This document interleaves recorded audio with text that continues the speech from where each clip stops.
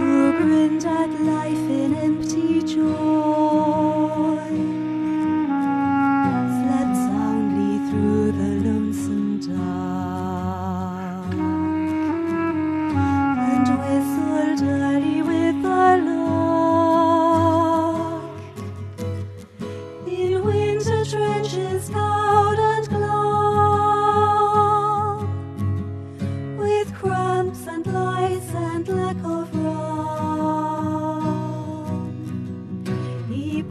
was aborted through his brain,